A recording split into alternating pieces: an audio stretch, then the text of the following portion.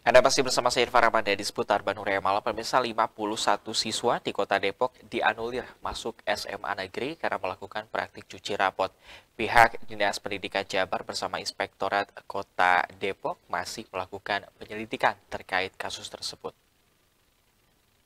Ditemui usai mengunjungi SMK Negeri 1 Kota Bandung bersama PJ Gubernur Jawa Barat untuk memantau pelaksanaan MPLS, PLH Kepala Dinas Pendidikan Jawa Barat Ade Afriyadi menyatakan sebanyak 51 calon peserta didik di Kota Depok akan disalurkan ke SMA swasta karena dianulir penerimaannya di SMA negeri.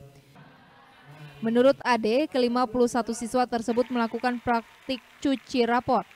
Diduga semua nilai di raport mereka diubah oleh orang tua ataupun oknum kepala sekolah maupun guru untuk bisa masuk ke sekolah negeri.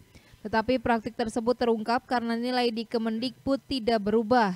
Ade pun meminta pemerintah Kota Depok melalui Inspektorat dan Dinas Pendidikan Kota Depok untuk menindaklanjuti kasus tersebut dengan melakukan pemeriksaan terhadap kepala sekolah, wakil kepala sekolah, guru maupun operator di SMP yang diduga melakukan cuci raport. 51 CPD itu disalurkan ke sekolah swasta. Jadi kemarin setelah diputuskan dianulir, seluruh kepala SMA negeri dan swasta di Depok itu mengadakan pertemuan kemudian juga di dalam pertemuan dibahas eh, terkait mekanisme eh, apa, eh, pengisian itu sesuai eh, Pergub nomor 9 2024 nah, dikarenakan ini prosesnya di akhir karena tidak ada tahap ketiga oleh karena itu ada koordinasi antara eh, eh, MKKS eh, SMA negeri dengan eh, MKSS atau Forum Sekolah Swasta di Kota Depok bersama KCD nanti untuk menentukan uh, calon uh, peserta didik yang akan mengisi uh, yang kemarin dianulir yang 51. Nah, tentu itu dilakukan secara terbuka ternyata memang peminat ke negeri di Depok sangat luar biasa.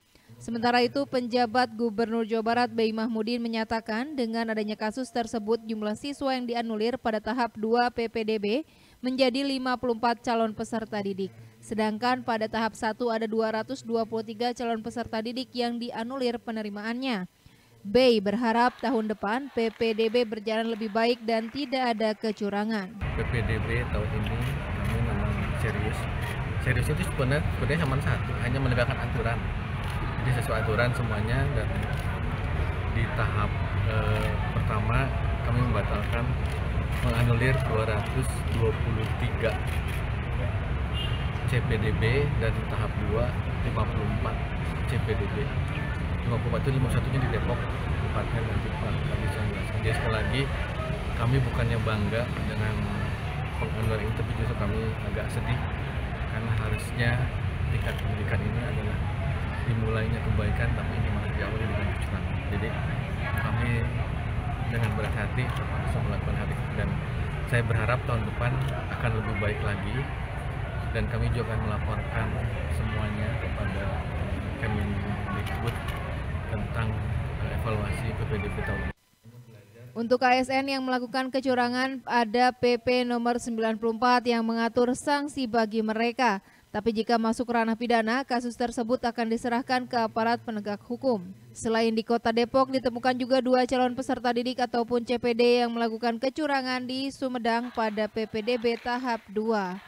Budi Hartati, Bandung TV.